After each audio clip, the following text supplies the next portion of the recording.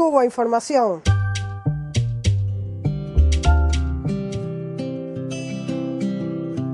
Desde los tiempos más remotos vuelan los ángeles guardianes, siempre celosos de sus votos contra atropellos y desmanes, junto a las cunas infantiles, junto a los tristes moribundos.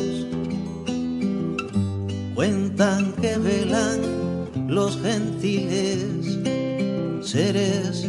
con alas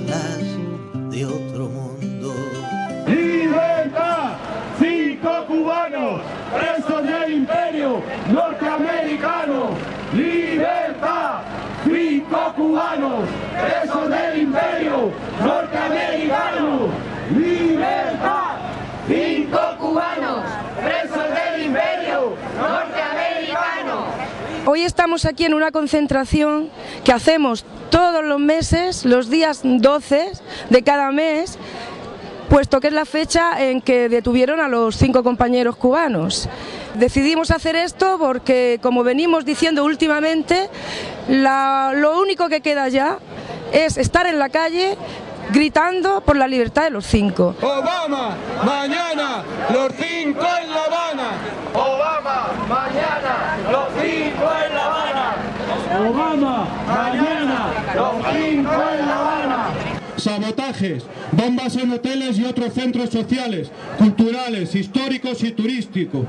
El gobierno cubano entregó al FBI pruebas irrefutables de dichos planes, pero en lugar de colaborar en su desmantelamiento, la respuesta del gobierno estadounidense fue detener a los cinco el 12 de septiembre de 1998, acusándoles absurdamente de espionaje y de poner en peligro la seguridad de Estados Unidos. Cuando este ángel surca el cielo, no hay nada que se le asemeje. El fin de su apurado vuelo es la sentencia de un hereje. No se distraiga ni demore, todo es ahora inoportuno. Va rumbo al campo de las flores, la hoguera espera. Hacemos las concentraciones en Sol porque este es un lugar emblemático, es el lugar, pues como, como veis, es el más céntrico de Madrid por donde más mm, pasa la gente y así de paso podemos repartir información. Antes también las hacíamos en la Embajada de, Estados Unidos y ahora hemos decidido, puesto que aquí es donde más gente hay, donde más se puede llegar y dar información, que vamos a utilizar la Embajada de Estados Unidos pues para fechas, fechas emblemáticas como es el 12 de septiembre, como es el 8 de junio, fechas en que salieron las sentencias condenatorias y en fechas así muy emblemáticas. ¡Libertad!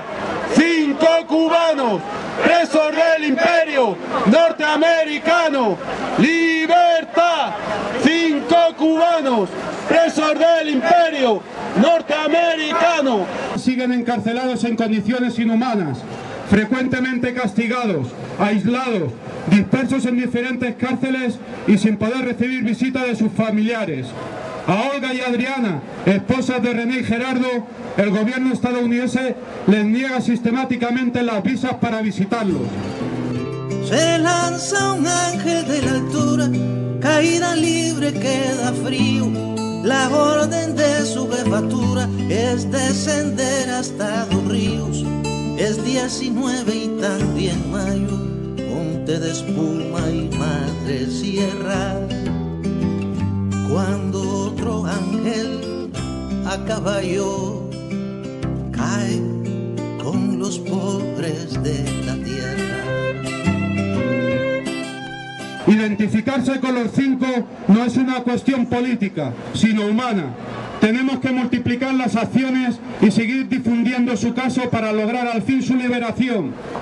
Por eso la lucha tiene que seguir hasta que los cinco compañeros estén junto a sus familiares y junto al pueblo que jamás ha dudado de su inocencia y la lealtad a los principios que hacen de, Cuba ejemplo de libertad y soberanía nacional. Libertad para los cinco, ya. ¡Libertad! ¡Cinco cubanos! ¡Presos del imperio norteamericano! ¡Libertad! ¡Cinco cubanos! presos del imperio norteamericano.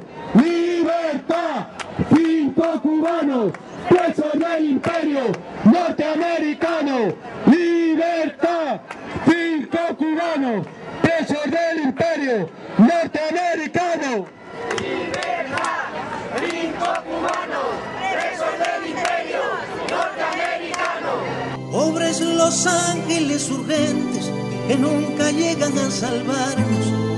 ¿Será que son incompetentes o que no hay forma de ayudarnos para evitarles más dolores y cuentas del psicoanalista?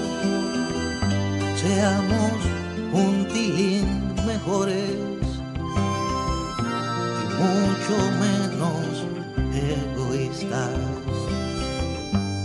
Seamos un tilín mejores y mucho menos